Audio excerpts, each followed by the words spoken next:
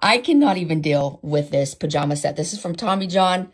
It's their long sleeve button up with the matching pants that have pockets. Mine is in the color coconut milk pine dream and they have other color options to choose from. This is luxuriously soft tri-blend fabric. It's unshrinkable, it's wrinkle resistant, machine washable. This pattern, this print will not fade. The colors will not fade when you wash them. And I love it because it's a modern fit. It's not boxy. It fits the shape of your body. Totally breathable, movable, so comfortable, good quality pajamas. Adorable set is from their second skin line. This is made of silky luxe stretch fabric. Movable, breathable. You're not going to have pilling with this stuff. Their pajamas are going to keep you cozy in these colder months, but not too hot.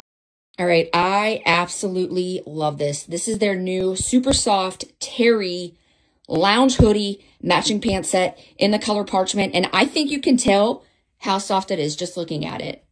My favorite thing about Tommy John, besides the comfort level, is the fact that their lounge pieces, their loungewear pieces are so versatile because I could wear this chilling in the house on the couch. I could wear this Christmas shopping. I could throw on a cute little vest or a jacket or as is go to my friend's house.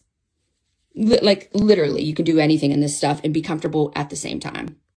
They also have an amazing collection of bras and underwear. These are their second skin lightly lined wireless bras. This one has a lace overlay and they both have the adjustable closure in the back, adjustable straps. Y'all, these are called second skin for a reason. They truly feel like you are wearing nothing. So comfortable, but they still give you the support that you need. Listen, Tommy John makes a great gifting idea. I don't care who it is you're shopping for, you get them Tommy John, and they're going to absolutely love it. And you can bet that. Or I will bet that. And they gave me a code for 30% off before the next 72 hours only. So you guys can click here, use code MB30, and you will get 30% off from Tommy John. By the way, thank y'all for helping with the shoe size for the five-year-old. We got her size 12, and I, whoa. Luke and I, we don't have children, so we don't know kids that well, but we, to both of us, for whatever reason, we felt or we thought size 12 was really big for five-year-old, but I guess it's not. So we got them for her. We were in the shoe section for 45 minutes we were it was we were frustrated. Uh speaking of children sister lauren they're inducing her at 37 weeks so they're thinking new year's eve baby. They won't be able to come here for christmas. She can't travel. She's miserable. Those are her own words. She's miserable. And um, her blood pressure is a little bit elevated so they're going to induce her.